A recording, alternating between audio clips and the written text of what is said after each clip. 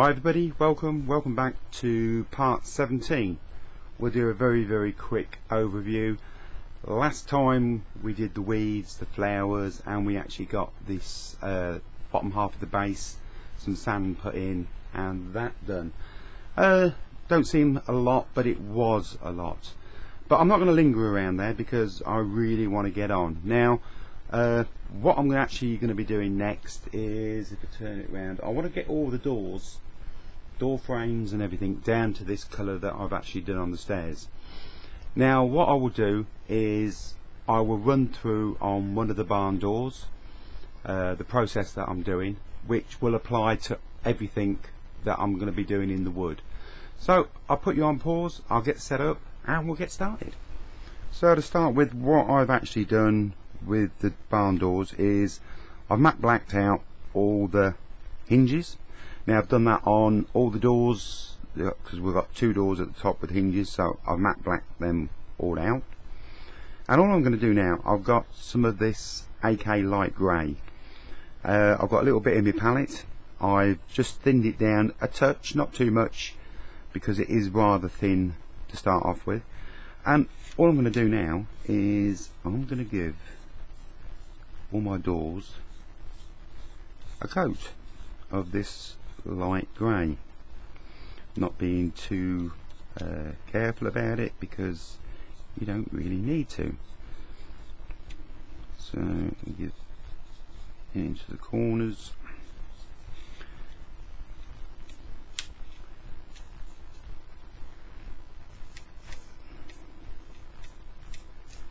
It's rather boring bit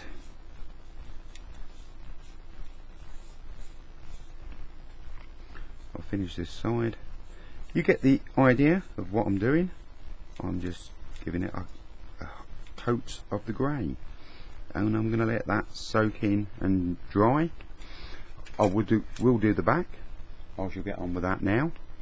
And also I will do all the timber work that is outside i.e. all the doors the door frames, the barn uh, door frames as well. I'll give them all a coat of the grey and when I've done that I'll come back to you and we'll go on to the next step. I've painted all the woodwork in the grey as you can see.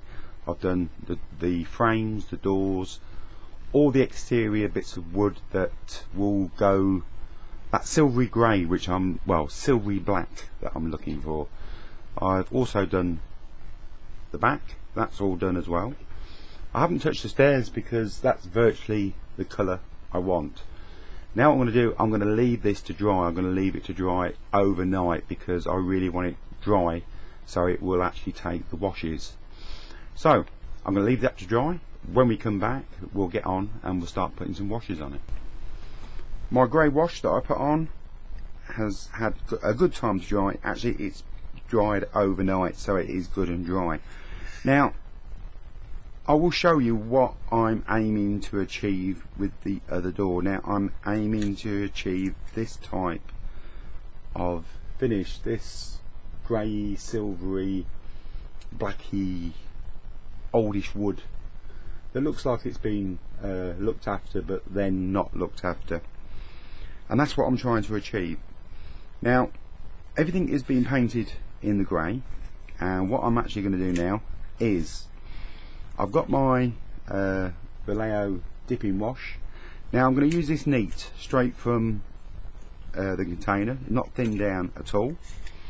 And all we're going to do is, if I can keep it all in shot, is we're just going to give it a coat. Now I'm going to do the same on the small doors on the actual barn, all the woodwork that's on the exterior I'm just going to go over it in the dipping wash and give it all a coat. So I'm not going to bore you to death by me painting a wash on because we I think we all get the idea of what I'm doing. So I shall come back to you when I've finished. Well I'll tell you what I'll do. I'll come back to you when I've finished and it's all dry so we can move on then to the next step so I'm going to do finish this door off I'm going to do the door frames the doors everything on the outside of the barn with the coat of the black. The black wash has had a time to dry and as you can see it's pretty messy and what we're actually going to do well what I'm actually going to do now I've got a bit of sanding sponge uh, not quite sure what grit it is but it's not too coarse. And all we're going to do we're going to start sanding it and we're going to sand this all the way back. Well not all the way back but if you can see it's just allowing the light colours to actually come through. Like so. Now I'm going to do that all over back as well I shall try and get my little sponge that's the reason why it's been cut to an angle so I can actually get into these uh, corners. But I'm going to be bringing that all the way back so it's allowing that grey to actually start to come back through again. So what I should do now I'm going to not bore the the, the bum off you by sit, making you sit through me see doing all the sanding I'm going to get this door done. I'm going to get the woodwork on the barn done and then I'll come back to you and we'll go on to the next step. I've lightly sanded all the woodwork as you can see. I've also done the uh, fascia board on the side there and also the bits and pieces around the back. So that's all been just rubbed over just so it allows the grey to come back through now I've also done the actual barn door which we'll go back down to now. Now my next wash is going to be just to give it a little bit of warmth. And what I've got is my mixture 25% of the brown wash with 75% thinners so it is a real thin wash. And all I'm going to do is give this a once over. Now I'm going to do all of the wood. And like I say I'm not going to bore you to tears by letting you sit there and watch me do this. I shall get it all done and then I shall actually come back to you. So that coat has had a, chance to dry and I'm going to do exactly the same as what we did at the beginning with my little uh, sanding sponge. I'm just going to rub this all the way back. Now you get the whole idea of this sort of like build up of different layers and to give it a little bit more warmth. So I'm going to go ahead now and I'm going to sand well just gently rub this all down. And I'm going to do all the woodwork and then I'll come back to you and we'll go on to the final step. I've been around all the woodwork now with my little sanding pad and I've rubbed everything down. As you can see the door has had uh, I've done it quite heavy quite hard in places uh, just to get a bit more uh, texture to it. Now my final coat of wash is the black and this is a 25 by 25 of the dipping wash black and 75% uh, thinners. So it's a, a very very thin wash. And all we're going to do is we're going to give it all another coat. Now like I normally say I'm not going to bore the bum off you by watching me paint everything. So I'll just do this one little bit here. It's as simple as that. Now I'm going to go over everything and give it one coat.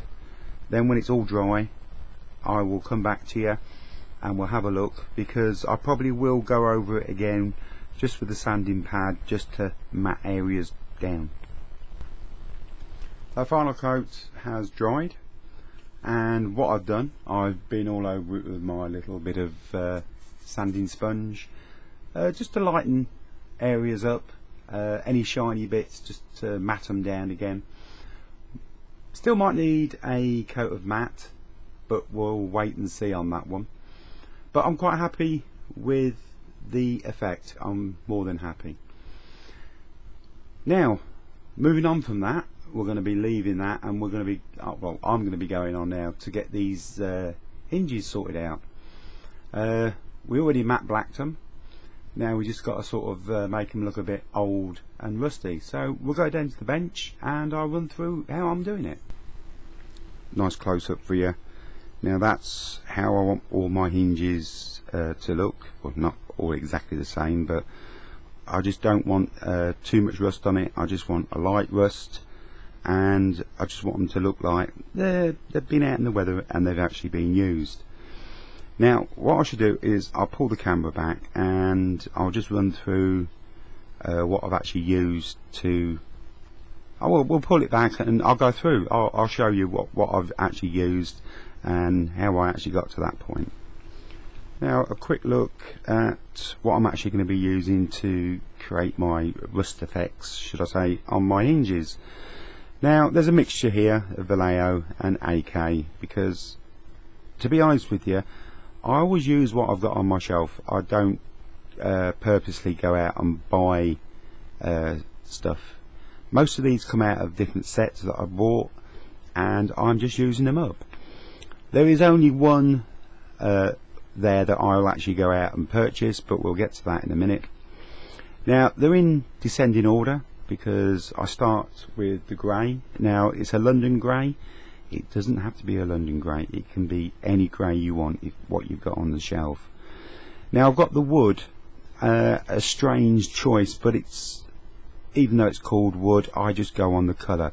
It's that real sort of lightish orange that you find in rust uh, and that is the ideal one. That is the one I use. That's the one I like when you're doing your rust you can uh, pick the colours you want and uh, blend them in shall I say. The next one to it is the dark rust. Uh, this another one that came out of a, a set which I had on my shelf uh, which I will be using. Also fuel stains. Very good for doing exactly what making stains on the bottoms of the of doors and things like that. Ideal uh, slime and grime dark this is a green. This is brilliant for the bottom of doors to give it that uh, uh, algae look at the bottom should I say.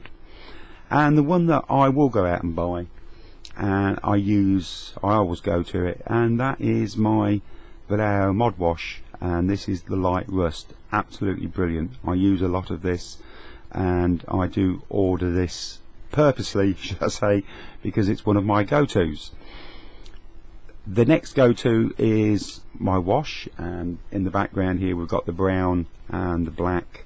These are the two uh, 2575s washes that I use. That's a neat one and I just vary it as I feel. And right at the end here we have AK's engine oil. Yeah great great little product this is because it gives the effect of oil and it's great for the round hinges just to wet them up to make them look like they've actually been oiled at some point. Also great for uh, using along the bottom of doors again just to give that wet damp uh, impression. So they're the products well yeah they're the things that I'm actually going to use. I'm going to say products. Uh, they're the items I'm going to use because that's what I've got on my shelf now what I should do I'll pull the camera back up and I will run through how I'm actually using each one of them on the hinge. I will try and show you my process on just one of the hinges.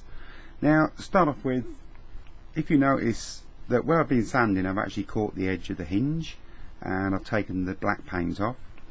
And this is the first bit I'm going to actually touch up. Now I've got some of the London Grey in a palette and all I'm going to do is if I can do this with this camera right up my nose is just fill in that brass bit all the way around. Like so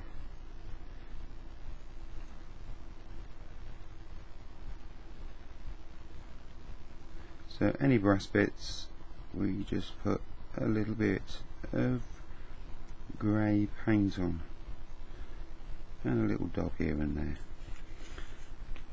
So it's all cleaned up. Now I'm not going to bore you. I'm going to leave that to dry and I shall be back with you in a second. That's had a little chance to dry off and now I've got in my palette is the wood. And we're just I literally it's just dot it here a little tiny bit there. As you can see I'm not going mad with it.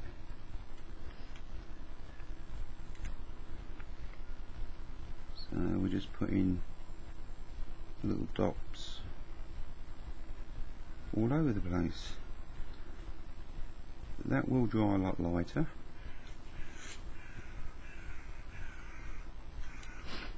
Now I don't even wait for that one to dry. I go straight in now with the uh, the dark rust. And we do exactly the same just a few dobs here.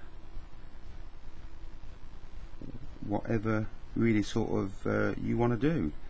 There's no set rules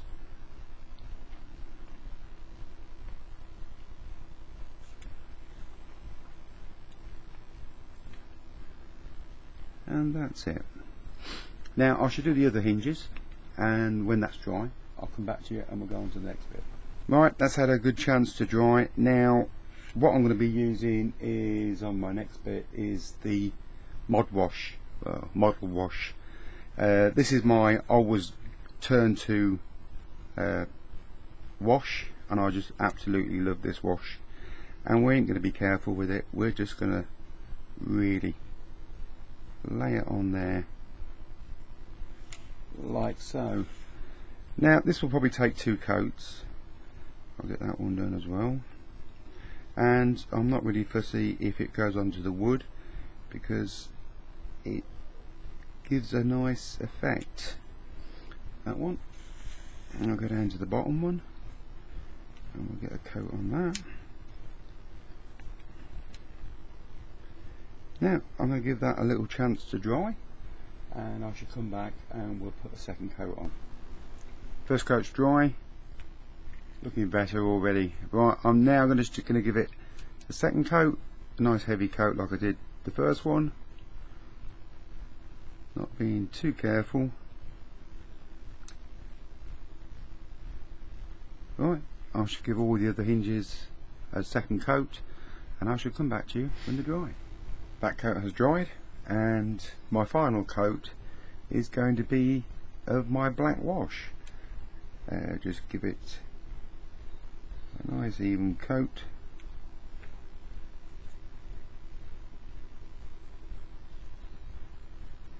And this is my 50-50 mix. I've probably gone a little bit too heavy there because uh, I've got the camera down low but that's it. That's all I'm going to do to it so I'm going to give the other hinges uh, a coat of the black wash and when they're dry I'll come back and let you have a look. Now that's all the hinges done and well done to the, the level that I want them to be done. The next stage is going to be sort of uh, getting some stains on the doors, the bottom edges, chipping them up, marking them up, getting some slime and grime around them and just genuinely making them look like they've been out in the weather.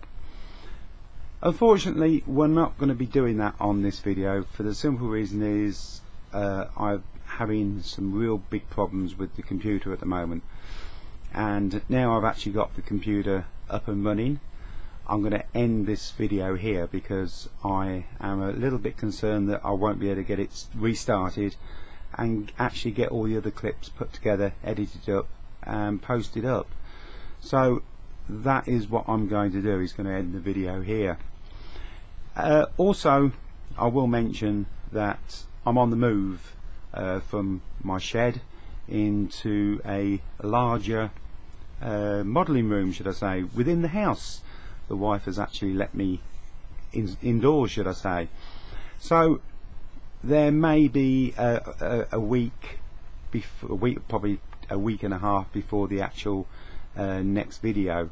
So with that little note I'm going to say thank you very much for joining me. Hopefully we will see you on the next one. Until then